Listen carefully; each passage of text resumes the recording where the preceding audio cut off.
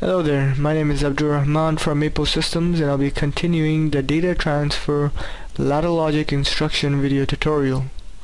Let's hover over the data transfer tab and place the block transfer instruction on rung number 1 of the logic block.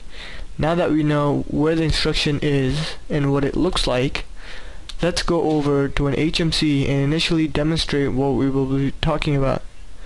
As you can see, I can choose any value for registers D410 to D414 and register D420 to D424.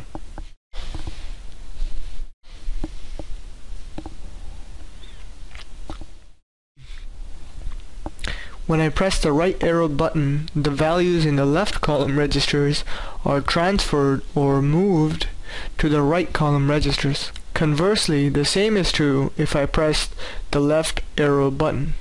Now we can choose some different values for the left column and the right column and then press the left arrow button and observe what happens. Now going back to the ladder logic block as you can see a table is defined on the left hand side or operand A or source a table is also defined on the right hand side or operand B or the destination. Now let's go to screen C2 and have an appropriate ladder logic block placed beside it. Like before, when a person presses the right arrow button or the left arrow button, it turns on a particular coil and executes the ladder logic instruction. Once the instruction is executed, the output line turns on. So how does it all work? Well, you have two blocks or tables next to each other. They both have n number of registers in them. So for the left column, we start with register, say, D410. And for the right column, we start with register D420. And for both columns, n equals 5.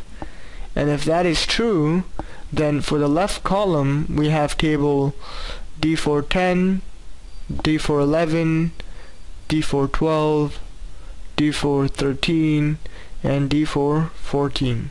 For the right column, we have the table D420, D421, D422, D423, and D424.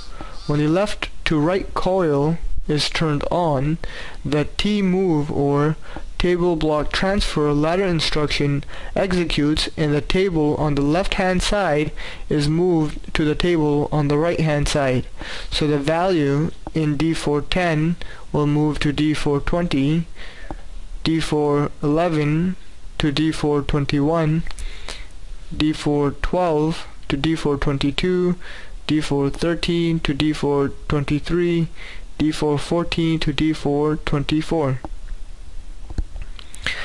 Conversely, if we press the left arrow button, then the right to left coil turns on and the right table transfers to the left table. Let's review this functionality back on the HMC. As you can see, if I choose various values for the left column, and hit the left to right button, the left table will transfer over or move to the right table. Conversely, the same is true for the right to left button. Observe. The values on the right table will transfer or move to the left table.